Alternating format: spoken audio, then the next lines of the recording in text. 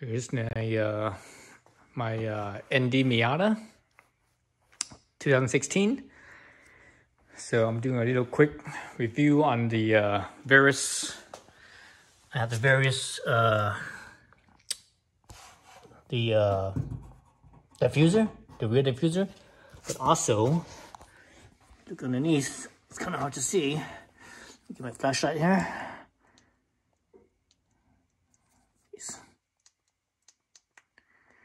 So I have the Verus, uh, um, so there's the, here's the rear diffuser. Then in front of that, I have the rear suspension covers, right? Rear suspension covers. And once I put these on, uh, I don't know about aerodynamics or whatever, but you know, as an individual, I really can't test that, right? I mean, it's possible I could do like a fuel mileage thing, but I don't think it's going to be that much of a difference.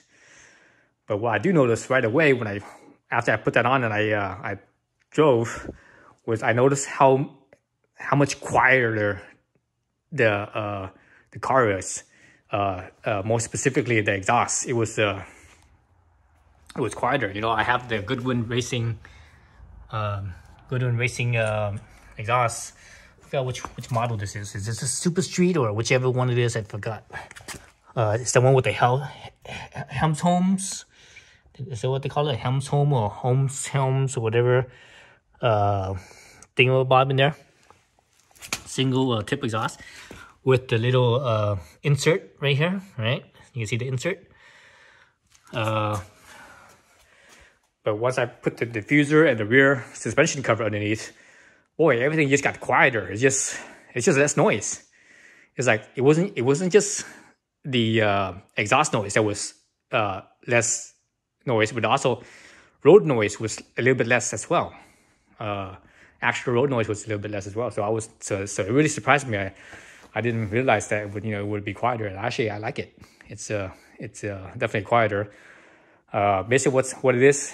The sound the sound is still there, but it just it's just less. It's like uh,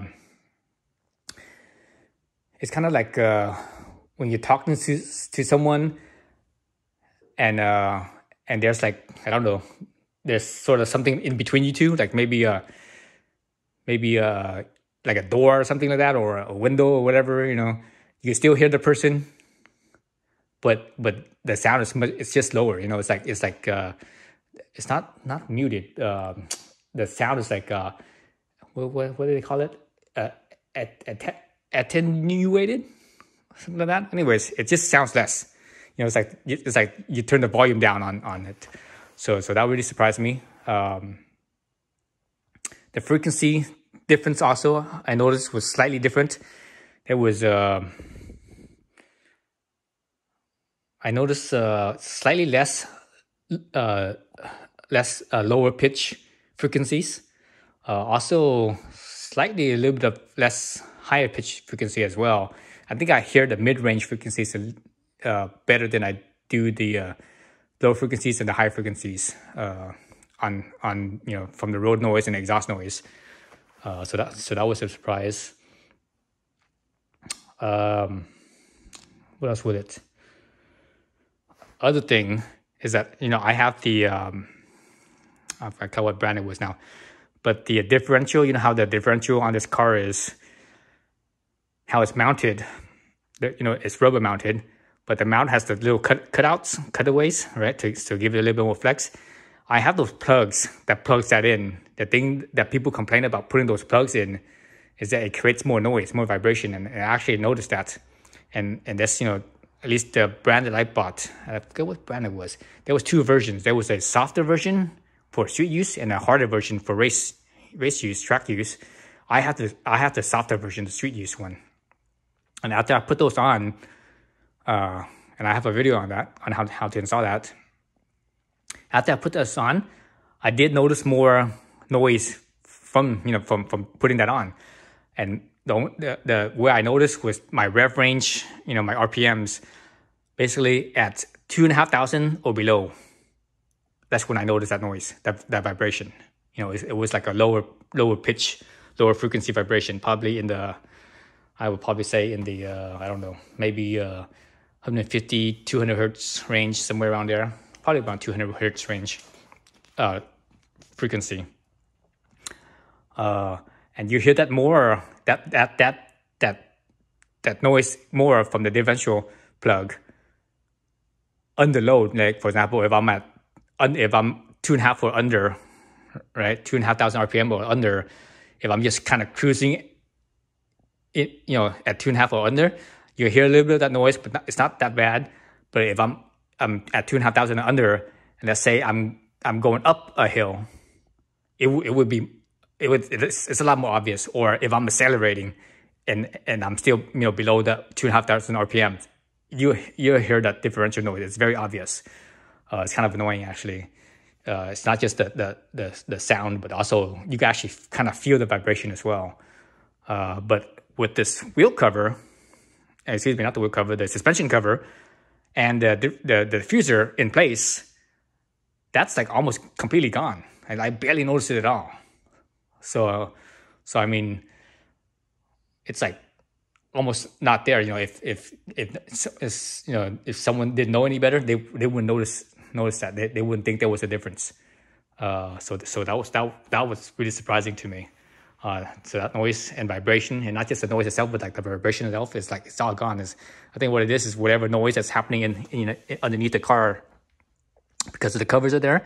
Instead of instead of bouncing out, you know, the sound the sound bouncing out, it's actually staying in there. It's like you know, it's like it's a trap. So so it just stays inside there, and that's I, I think I think that's the reason why the exhaust sound is less too, even though you have the uh, the uh, you know the, the exhaust gases coming out from the from the pipe itself you look you look inside in here and you, you know you see it's all open here but but that that but not all the noise is coming most of the noise is coming you know a lot of noise is coming out out from the uh from the uh um the exhaust pipe the tailpipe but a lot of noise is also coming out you know vibrating out from the the a uh, um, the system itself the uh, um